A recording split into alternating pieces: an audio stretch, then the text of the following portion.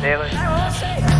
OK, Monsieur Legault. Oui. On retourne dans la limousine, là. Oui, excusez, j'entends mal à cause de la fanfare. Ouais, ils font ça en France, des fanfares. Ils ont pas des fans un petit peu moins forts. Bon, là, on va tout de suite à Charles de Gaulle. Ouais, parlant de lui.